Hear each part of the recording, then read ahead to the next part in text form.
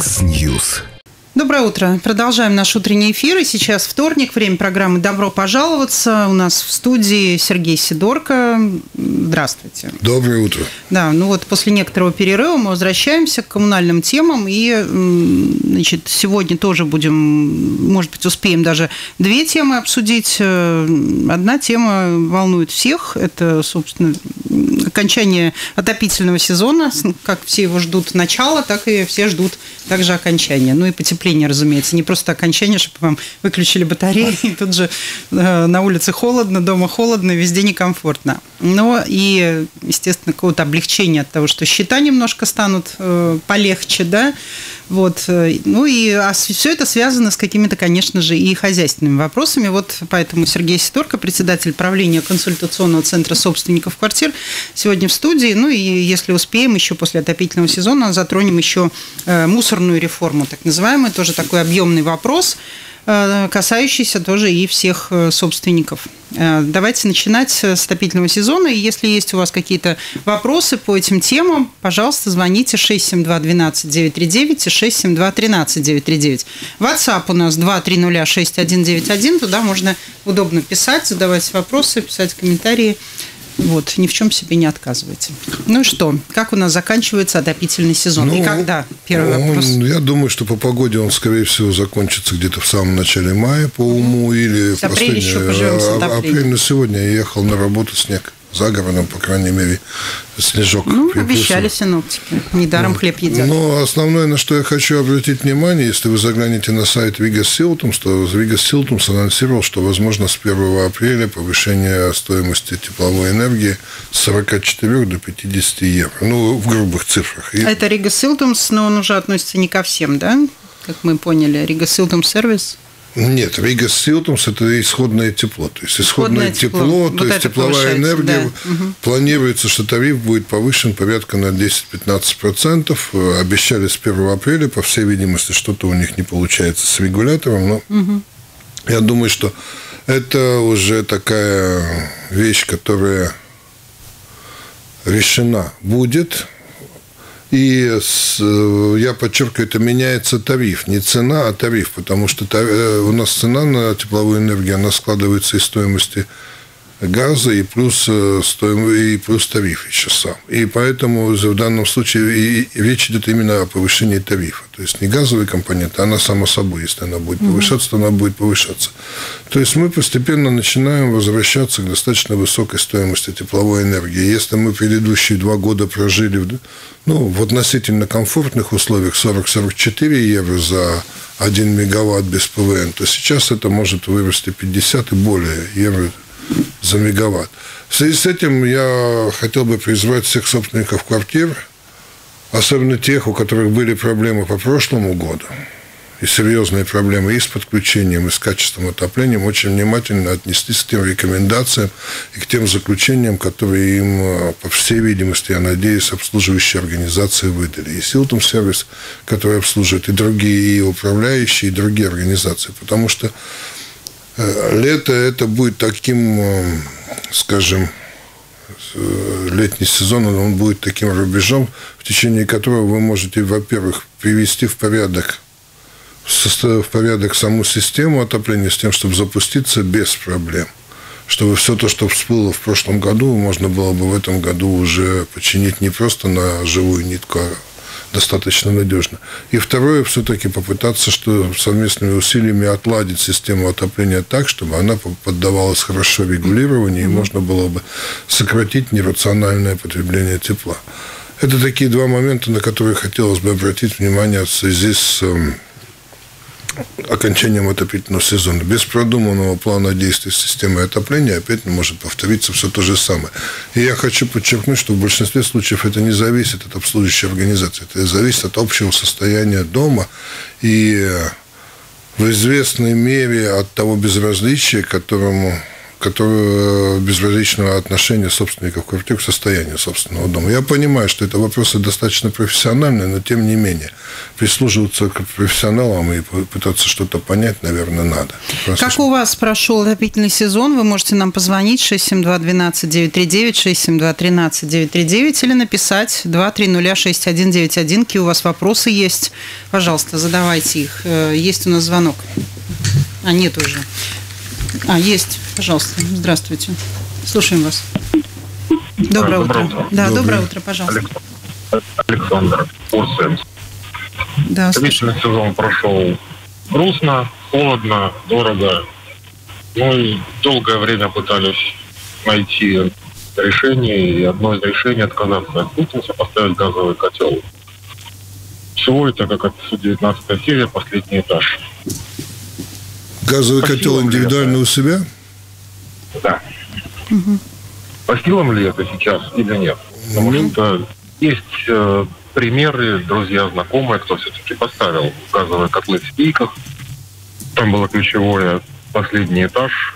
Ну вот, чу- устал себя чувствовать подопытным кроликом, когда тебе выкручивают руки, с тобой экспериментируют. А твоя задача только одна – платить, молчать, терпеть.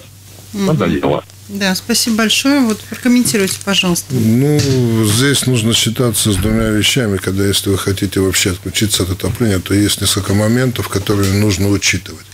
Угу. Момент номер один – это, конечно, согласование с газовой службой и со, со службой пожарной безопасности. Да. Это, это обязательно. Этот проект должен быть. И э, не знаю, есть ли ограничения по порциям, я знаю, что есть районы Риги, где запрещено устанавливать автономное отопление. Угу. Почему? И, ну, с точки зрения экологии, допустим, исторический центр и э, еще есть радиус, где такое согласование очень сложно пройти, потому что это все-таки серьезный проект, который проходит и согласование в упомянутых мной инстанциях, и это должно быть согласовано с собственниками квартир дома, то есть это еще должно быть согласие собственников квартир дома и эм, э, одобрение Бувалды. Так что там все это достаточно непросто. С чем еще нужно считаться? С тем, что несмотря на то, что вы поставите э, у себя автономное отопление, если вы получите соответствующее согласование, вам наверняка придется переделывать внутреннюю разводку. Это тоже достаточно затратная вещь такая.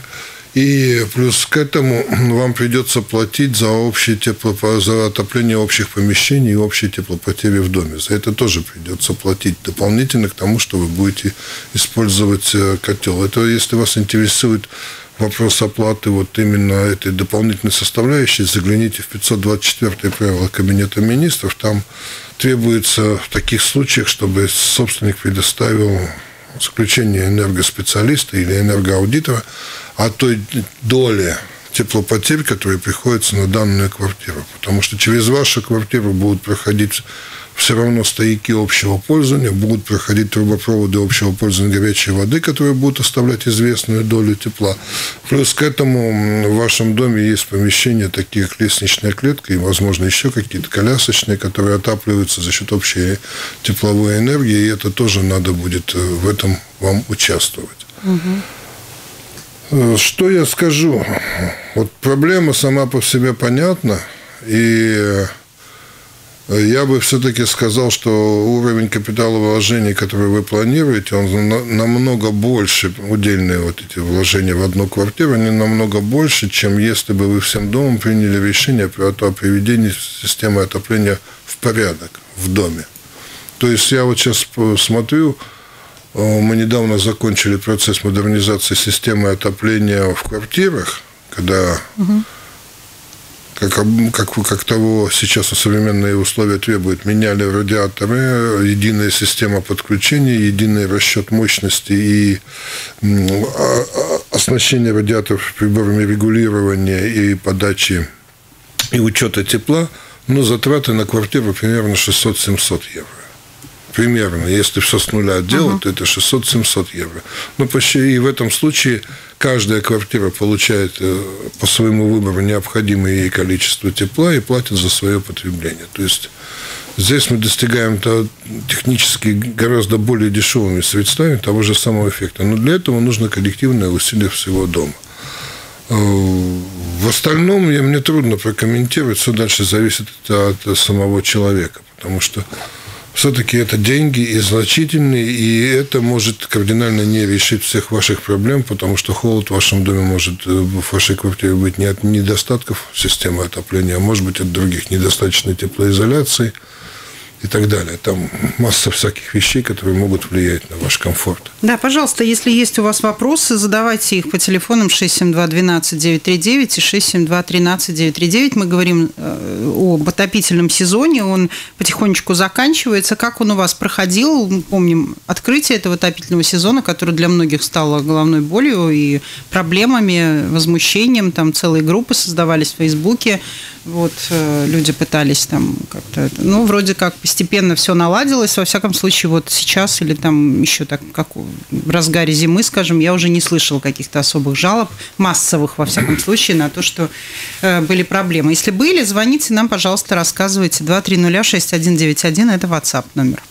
И все-таки я бы еще раз просто призвал всех собственников квартир подумать о том, что ваша система отопления на сегодняшний день в том виде, в любом доме практически, она не соответствует современным требованиям, и она не выполнена в том согласованном порядке, по которому необходимо. И над этим надо очень серьезно задуматься, потому что для меня тоже стало удивлением, я по кооперативу начал отслеживать цену, и как-то очень удивительно, что цена потихонечку за отопление ползет где-то к евро за квадратный метр в месяц. Это угу. достаточно такой нехороший симптом. Это нехороший симптом, потому что, по всей видимости, все-таки мы стали потреблять немножко, позволяем себе потреблять тепла немножко побольше, и все это ведет к удорожанию. Для сравнения, в домах, где прошла реновация, где скажем, есть система регулирования и учета индивидуального тепла, в этих домах мы имеем среднюю стоимость отопления 50 и ниже центов в месяц, до, от, от 40-35 до 50 центов в месяц, в зависимости от этажности здания и исполнения. Так что все-таки сэкономить на этом можно, это долговременная экономия, и в принципе, прежде чем, вообще я бы сказал так, прежде чем начинать думать об альтернативных источниках тепловой энергии – таких как там индивидуальная котельная, это не совсем альтернатива, но других источников энергии, индивидуальная котельная или там еще какие-то варианты, необходимо привести в порядок все тепловое хозяйство здания, и само здание нужно привести в порядок. Только тогда, потому что сегодня получается так, если здание не в порядке, система отопления не в порядке, мы пытаемся поставить на нее какой-то другой источник энергии, который должен уже исходно обладать значительно большей мощностью, чем это mm. необходимо. И мы наворачиваем только расходы, не решая основной проблемы. Ну да, получается так, что все равно будем так или иначе обогревать улицу, да, грубо говоря. Да. да, если не утеплен дом, не реновировано там и не то есть здесь нужно порядок. начинать именно с этого. Нужно в первую очередь, и я еще раз подчеркну, это дешевле, чем искать индивидуальное решение. Вообще индивидуальное решение в многоквартирном доме обычно кончается тем, что это дороже получается. Угу. Кратенько об отопительном сезоне. Да, если думаю. есть еще вопросы, созрели, пожалуйста, задавайте, пишите, звоните 672-12-939, 672-13-939, потому что мы обсуждали сейчас отопительный сезон, его окончание. Вот как, интересно, как у вас прошел этот отопительный сезон. И планируем сейчас еще поговорить немножко о мусорной реформе, которая тут тоже зреет в Риге. Пожалуйста, слушаем вас. Алло, куда Да, здравствуйте. На Болтком вы попали, пожалуйста. Ой, извините, извините. Да, пожалуйста. Ну вот. Значит, Значит, э, переключаемся на мусорную реформу и э, чем это может заинтересовать наших слушателей, чем важно для них? Я думаю, что все в городе Риге заметили такую вещь, что вот перед Новым годом было объявлено о том, что повышается налог на утилизацию отходов, природные ресурсы, и, соответственно, произошло небольшое, ну, относительно большое, но порядка 3-4 евро – на кубический метр вывозимого мусора подорожание цены. Но, допустим, в моем кооперативе случилось так, что когда мы получили счет, понимая, что будет увеличена именно эта компонента, связанная с налогом, мы получили счет на 75% больше, чем предыдущий. Угу.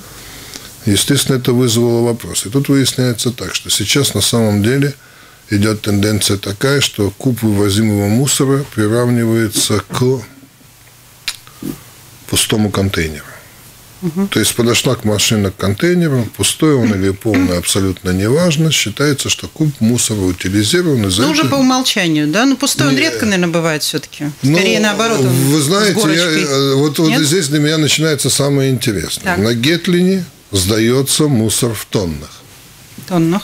В тоннах. Как связать тонну мусора с кубом в контейнере? Ну, как связать? А, я не знаю. Зачем вы задаете риторический вопрос, нет, который нет, нет Я задаю вопрос такой, понимаете, если, если вообще-то говоря, э, сохранность нашей природы и охрана природы зависит от тонн производимого мусора, то сдавать его в кубах, не зная его удельного веса, как-то ну, нелогично, на мой взгляд. Но ну, давайте представим одну вещь. Я, я сейчас фантастикой займусь. Угу. Подошел человек, он долго пользовался пластиковыми бутылками, он не хочет сортировать мусор, он накидал полный контейнер пустых пластиковых бутылок. Не сминая их, а просто... Ничего, ну, в зал набросал, угу, да? Угу. Простой вариант. Ты Легенькие платишь, они. Да, платишь 16 евро да. за этот контейнер. Подъезжает мусорная машина, в нем, ну, сложилось так, что половина контейнера с мусором. 16 евро за, за кубовый контейнер. И пошло-поехало. Поэтому начинается вопрос такой, что здесь на самом деле совершенно непонятно, какая связь между тонной и кубом. Но когда мне сказали, что вот э, я, у меня было по договору оговорено о том, что все-таки куб, он имеет некую неполность, то есть он не плотный, поэтому мы, допустим, один куб пустого контейнера приравнивали к 0,6 кубам пол, полного. То есть, если подъезжает машина, то считается, что ну, выбирается 0,6 куба из нее угу. за счет неплотности мусора. Теперь они меняют договор и говорят, ну, что вот, вот пустой контейнер, все, вот мы подъехали в зале, за это ты должен заплатить 16 евро. Но я задаю вопрос, значит, пустой, пустой. Я говорю, ну, а почему не с горкой? Угу. Ну, почему? Ну, воздушная горка же может быть над ним. Ну, вот тут начинается. Значит, меня, я к чему этот разговор затеял? Во-первых, резкое повышение стоимости обработки мусора – это одно. Второе, я тогда уже просто начал смотреть по литературе. Ну, известно, что мусор весит определенную вещь. Сейчас прочитал, что вроде бы Юрмала готовится вообще принимать мусор по весу. И э, там есть тоже не без греха, там тоже свои вопросы есть, но тем не менее я считаю это более справедливо, потому что все-таки хотелось бы понять, за что платится, как, вот, как, как образуется этот куб. В среднем этот куб, вообще-то, если почитать, покопаться по интернету, он весит где-то порядка 80-100 килограммов. Обработка тонны мусора на Гетлине стоит 70 евро за одну тонну вместе с ПВНом.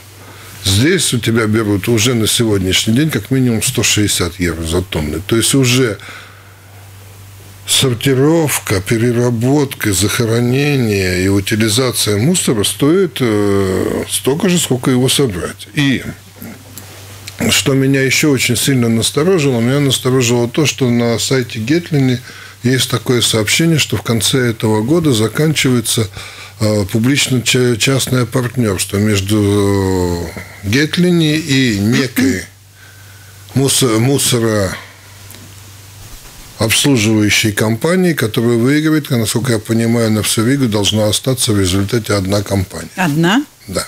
А как конкуренция на это посмотрит? Я Совет, не знаю, например? Э, я не знаю, я не знаю, как конкуренция. Насколько я понимаю, что должна остаться компания, которая выигрывает конкурс угу. на 20 лет, и она будет 20 лет обслуживать всю Ригу.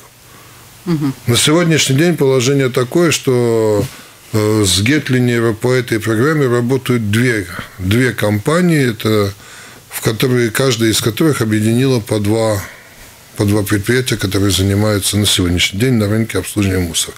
То есть, в принципе, совершенно четко прослеживается, что мы, рижане, могут столкнуться к концу года с тем, что рынок обслуживания мусора будет монополизирован.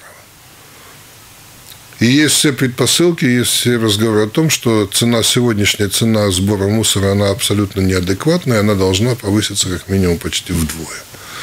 То есть у меня семья из трех человек, я могу сказать так, на сегодняшний день мы платим за обработку мусора э, где-то порядка 10-11 евро с нашей квартиры. Э, в месяц? В месяц, да. Ну и следует ожидать, что если все это неадекватно, значит 20. То есть, поскольку я живу в реновированном доме, то это сравнимо, сопоставимо со средней стоимостью отопления. То есть мусор угу. будет, будет у меня стоить, Такой же, как, как будет стоить так же, как отопление, если все это подтверждается. А вот подтверждение этому я так обнаруживаю, потому что когда против, ну, с достаточно, на мой взгляд, грубыми нарушениями договора и существующих э, обязательств по договору компания начала резко в одностороннем порядке менять условия, я попытался найти другой. Ну, четыре, как минимум в Риге четыре компании, которые предлагают услуги. И столкнулся с тем, что никто не заинтересован. То есть, по всей видимости, уже среди профессионалов достаточно четко сформировалось мнение о том, что будет совершенно четко поделен рынок, цена будет устанавливаться в результате вот этого конкурса. И э, в итоге после этого все попадут в один и тот же капкан. То есть альтернативы не будет, конкуренции не будет. По условиям того конкурса, ну, по крайней мере, то, что там я успел прочитать, там к э, этой компании, которая будет обслуживать, выдвигаются очень большие условия – по техническому оснащению, оснащению парка и так далее, то есть автомобильного. То есть это все будет вести к очень большому удорожанию. И вот здесь у меня возникает вопрос, а почему об этом так вот это наши городские власти тихонько молчат? Это, этот вопрос всплывал лет восемь назад, но тогда как-то он тихо заглох, и сейчас он опять, я вижу так, что это, эта реформа может привести ну, к значительным денежным угу. вливаниям со стороны населения. И этот вопрос очень хотелось бы, чтобы, может быть, где-то прозвучало более подробно. То есть информация о том, а какая цель ставится. Потому что сейчас все это ведется. Да, я понимаю, что будет красивее, глубже и качественнее. Но насколько это будет по карману, в общем-то говоря, вся эта реформа. Еще один момент, который здесь хотелось бы затронуть, на сегодняшний день не секрет, то, что ты свой мусорник защитить не можешь. То есть есть определенная логистика, как движутся люди там на работу или с работы, и я совершенно четко знаю, что я вынужден ставить дополнительные контейнеры у своих домов, потому что жители пятиэтажек, которые живут за моими домами, идут на транспорт с утра мимо моих домов, а у них контейнеры за домом. И очень многим... Им неудобно просто. Да, да. Они, угу. они привыкли не, не зайти за дом и потом пойти на работу, они привыкли идти и бросать или под двери мусоропровода нашего дома, или в контейнер, который поставили. И в данном случае ты, во-первых, не можешь прогнозировать количество мусора, которое у тебя собирается, потому что дом, он живет своей жизнью, а когда вот внешний фактор. Второе, тот же, та же самая проблема с... Вот нас всех сейчас, сейчас очень активно призывают, давайте делить мусор, там, сортировать мусор. Все прекрасно. Но не секрет, что там вот у меня уже несколько домов отказались от сортировки мусора по одной простой причине. Ставятся контейнеры, люди идут, тщательно сортируют мусор. Подъезжает мимо проезжающая машина, открывается дверь, выходит элегантный господин или госпожа, и в любой ближайший контейнер, в том числе и для сортированного мусора, швыряет свой пакетик и гордо уезжает дальше. Как только приезжает компания забирать мусор – если у тебя в контейнере обнаруживается посторонний, не картон, допустим, угу. а бытовой, все. Контейнер не забирают? Нет, забирают, но это либо предлагают самому перебрать, угу.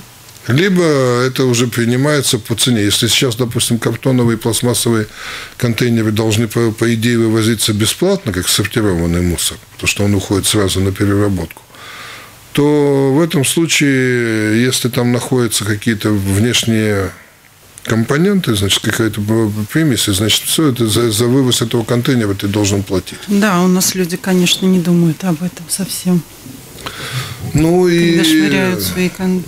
я думаю, что на самом деле все эти попытки словесно убедить на сегодняшний день сортировать мусор, это тоже достаточно тяжелая штука. Угу. Пожалуйста, здравствуйте, слушаем вас. Доброе утро. Доброе У меня два вопроса. Во-первых, в желтый контейнер я могу кидать не только картон, а бумагу, потому что у меня много кроссвордов. Угу. И второй вопрос. Я видела сама и не один раз. Желтый и зеленый контейнер – это бумага и бутылки. Кидают в одну машину. Это правильно или нет? Спасибо. Угу. Спасибо это большое. Первый вопрос. Я думаю, что, наверное, картонная бумага – это целлюлоза и идет на переработку, так что я думаю, там можно. Но я вам советую заглянуть на сайт любого обслуживающая, ну, тут Air или любой другой компании, где, которая занимается обработкой мусора, они там четко пишут, что такое бытовой мусор, что такое там сортированный мусор и так далее. Я думаю, там надо посмотреть. Второй вопрос, да, вы правильно подметили. На самом деле, с одной стороны, э, идет пропаганда того, чтобы вы сортировали, но часто бывает и так, что в обычно... Во-первых, машина обычная, это еще не факт, что она собирает все, но если она собирает одновременно и бытовое, и это, то, конечно, это очень так странно выглядит. На самом деле должна ходить, ходить такая же мусорособирающая машина, но она должна собирать только вот отдельные виды мусора. А вместе там пластмассу с картоном, ну, не знаю, в чем высокий смысл смешивать. Поэтому здесь вопрос такой, я думаю, что на самом деле... Да. Угу. На самом деле? На самом деле, чтобы сортировать мусор, нужно предпринимать другие усилия совершенно. Угу. Да, пожалуйста, слушаем вас. Здравствуйте. Здравствуйте. Добрый день. Я хочу сказать, что это Татьяна беспокоит. У нас в Майре обслуживает ПНР, и я никогда не видела, что они смешивали мусор в один контейнер. В определенные дни вывозят стекло. Угу. Специально просто определенный день, обычно суббота. Определенный день зеленые эти контейнеры, а вот у нас уже давно по весу.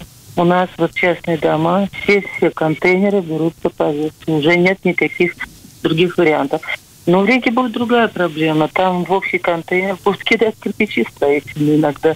И это будет еще ужаснее, потому что вес будет очень тяжелый. Спасибо. Спасибо.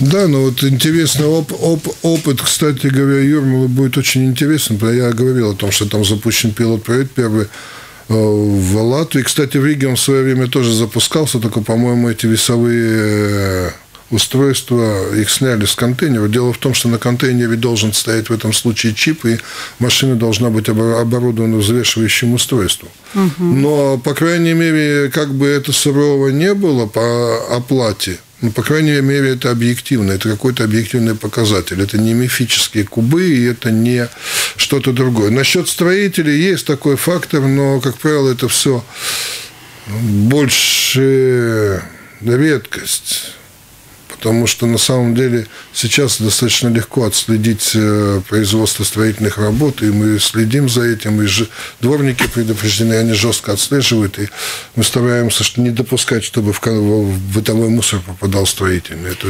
достаточно да, строго наказывается. Заглянула как раз на сайт Клинер, э, чтобы подсказать, может быть, вот Лариса звонила она по поводу того, можно ли бумагу и картон. Вот желтый контейнер э, здесь написано так, значит, если это пластмасса, масса написано, то там имеется в виду ПЭТ-бутылки, банки, пакеты, упаковка. Если это бумага, то макулатура, бумага для письма и упаковка. Опять же, ну, видимо, картон да, имеется да. в виду, да. И металл, консервные банки для напитков банки, металлические предметы домашнего обихода. А если э, грязная бумага, мокрая и картон, тогда это бытовые отходы. Это зеленый контейнер, туда продукты питания, упаковки тетрапак, витое стекло и мокрая грязная бумага и картон. Вот. Ну, ну, мокрая грязная бумага и картон – это то, что на самом деле лежит на улице. То есть, это с улицы подобранное. То есть, это, это не из дома, скорее всего. А насчет... Не, ну, если потопа дома не было там, конечно. Ну, тоже да, может мало, быть. Да. Но вот если мы говорим о сортировке, то, скорее всего, вся сортировка заключается в том, что вряд ли у нас есть возможность сортировать в квартире. Да, пожалуйста, здравствуйте, слушаем вас. Слушаем. Да, вот пропал звонок. Звоните, еще есть несколько минут у нас. Почему в квартире нельзя сортировать? Ну, я, когда заходишь на 5-6-метровую кухню, то, что массовая кухня у нас, вот, ну, допустим, в основном, в основном в жилом фонде это пятиэтажки, и там mm-hmm. кухня 5-6 метров. Там, ну, в общем-то, поставить 2-3 ведра или 3-4 пакета не, не, не очень представляется возможным. Хотя я слышал так, что сейчас появляются какие-то современные мусорные ведра с отделениями и так далее. То есть э, чтобы начать сортировать всерьез мусор, нужно сортировать его с квартиры. И для этого нужно не только сознание, но нужно какие-то, наверное, ну, я не знаю, какие мероприятия, но какие-то мероприятия, в том числе и такие условно-технические, типа, типа специальные ведра, где можно раскладывать мусор и так далее. Потому что на самом деле э, сегодня, ну, это внедрить в массовое сознание, это, этот процесс будет очень сложно. Его ну, нужно, но его очень сложно внедрить. Ну, я вот недавно была на Мальте, и как раз там вот сортируют мусор на уровне квартиры сначала. Потому что если ты вынесешь э, свой пакетик, и там у тебя будет намешано всего чего, то ты попадешь на очень крупный штраф. Ну, ну вот. там есть место. Общество. То есть там в один день вывозится, там, допустим, пластик, в другой день там, не знаю, еще что-то, ну, вот так. Ну, там есть место. Там обычно на Западе ты приходишь, где-то есть какие-то места, где стоят или внутри дома общие контейнеры. Нету там ничего, к Нету? порогу, к Порог. подъезду. Улицы узенькие вот а, такие, все ну, завалено этими мешками, тротуар. Подъезжает машина, вообще не понимаю, как они там помещаются, если честно. Ну... Такая просто, ну, у них вот так, но очень строго. То есть ты во вторник ты выбрасываешь э, пластмассу, в среду стекло, ну, вот так, понимаете? Ну, И да, штраф, да, если что. Все почему-то все видят еще к тому же. Здравствуйте, пожалуйста. Да, добрый день. Добрый день, да. Вопросы, если можно. Постараюсь покороче. Э, первый вопрос. По какому принципу рассчитывается стоимость э, мусора по квартирно? Вот получая счета, она постоянно прыгает в ту или в другую сторону. При, э, э, при одних и тех же зарегистрированных жителях угу. Так. Второй, второй вопрос. Как бороться с так называемыми нелегальными э, сбрасывателями угу. мусора по ночам, потому что вот около нашей, ну, помойки, назовем ее так, значит, за ночь скапливается большое количество мусора. Мебели, строительного мусора и, в принципе, невозможно никого взять на, за руку. Угу. Я один раз попытался, получил по физиономии за это. И третье, призывы к сортировке мусора. Как вот э, те, кто к этому призывает, представляют себе это вот в условиях многоквартирного дома, вот в квартире. То есть надо или иметь э, на кухне четыре мусорных ведра, или выносить на улицу к месту угу. сбора мусора, высыпать все на землю и потом уже сортировать бумагу, стекло, там что-то. Да, спасибо. Ну вот как раз мы об этом и говорим сейчас тоже. Да. По принципу распределения счета за тепло угу. мне не очень понятно, почему он у вас скачет. Есть правило 524 Кабинета министров, который назначает, что по выбору собственников квартир дома может быть мусор, вывоз мусор должен, может распределяться счет пропорционально площади квартиры, пропорционально количеству квартир, пропорционально количеству задекларированных и пропорционально количеству фактически живущих. То есть загляните сначала в договор, посмотрите, да, посмотрите как у вас по, по какому принципу. И сейчас немножко другое. Сейчас мусорообслуживающие компании, они начали делать так. До этого вывоз крупногабаритного мусора, по умолчанию входил в стоимость э, основной услуги.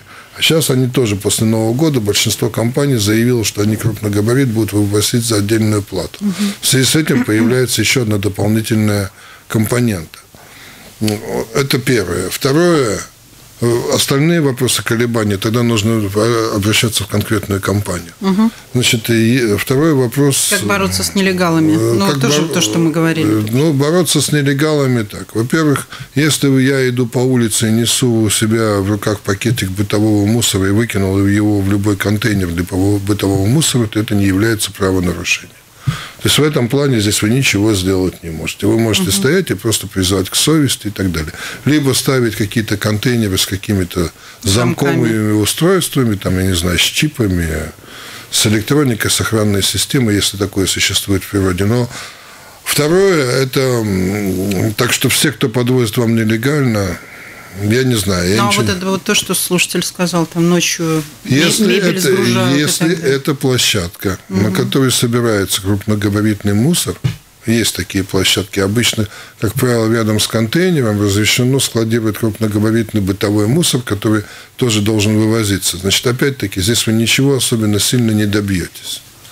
А вот если это строительный мусор, я не советую в этом случае вступать в какой-то конфликт. Сейчас все оснащены мобильными телефонами. Сейчас, если подъезжает машина, и вы видите, что вы подъезжает машина, и с нее начинают выкидывать строительный мусор, просто зафиксируйте этот факт и сообщите в муниципальную полицию. Как правило, этих людей находят и штрафуют, и штрафы там очень серьезные.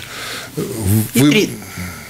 Да. Угу. И третий был. Ну, то, что мы как, как раз обсуждали, приучить, когда слушатель позвонил. Мне очень, да. сложно, мне очень сложно при нашем общем раздолбайстве, как мы можем себя приучить Нет, ну, слушатель имел в виду, что вот на уровне квартиры, да, то есть как раз то, что мы обсуждали, видимо, Да. он выключил звук и просто дозвонился, пока мы это обсуждали как раз. Ну, это сложно довольно. вопрос заключается в том, что мне очень сложно представить, как. Конечно, должны быть какие-то... Я там, не знаю, где-то по телевидению недавно видел, что есть дизайнерские находки. То есть э, в объеме одного ведра, одного мусорного ведра с четырьмя-четырьмя отделениями уже для сортировки, чтобы просто поставить и уже в пределах одного ведра уже можно было сортировать, потому что это первое. Второе, конечно, это воспитание. Третье, это само- самим нужно собраться и каким-то образом делать. И четвертое, я бы, наверное, в очень сильной степени запретил бы применять репрессивные меры, когда смешанный мусор. Все-таки, когда люди пытаются сортировать, нельзя их наказывать за то, что кто-то что-то нарушил.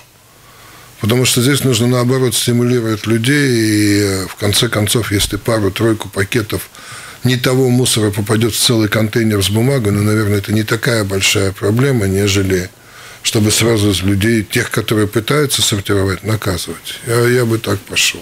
Еще звонок, пожалуйста, здравствуйте. Слушаем. Алло, здравствуйте. Да, Добрый здравствуйте. день. Скажите, такой вопрос. Вот единственное, я живу в Лондонской области, лично видел, у нас тоже, значит, зеленый для... Ну, в общем, три контейнера, зеленый, желтый, синий. Приезжает мусоровоз и все в одну кучу выкидывает. И вот вопрос, в мусоровозе что, как-то разделяется тоже это все дело, или все-таки это как-то все неправильно сделано было? Все, такой вопрос, спасибо. Ну, мне трудно ответить за логистику, понимаете? По идее, с одной стороны, ну, нельзя это все смешивать, потому что э, на самом деле идея-то в чем? В том, что берется бумага, картон, ну, скажем, целлюлозные, целлю- целлюлозные отходы, они везутся сразу же в определенное место, место где они обрабатываются. Э, Смысл брать, допустим, из трех контейнеров в один мусоровоз, привозить, потом что высыпать на контейнеры и опять разделять? Ну, трудно здесь объяснить логику. Может быть, просто-напросто там объемы вашего самоуправления на сегодняшний день э, не позволяют организовывать эффективно отдельный вывоз, но вас приучают сортировать. а, А сами сортировать не приучают. э, Ну, или потом это будет использоваться. Ну, трудно здесь Да, но это уже не первый такой звонок. В рамках других программ тоже вот э, звонили слушатели и тоже жаловались, что они сортируют, а потом приезжает машина и все грузит в одну. Пожалуйста, здравствуйте. Слушаем вас. Добрый день. Добрый Э, день. У меня такой вопрос. Хотел узнать. У нас раньше взималась плата за человека в квартире вывоз мусора. Теперь берется за квадратный метр.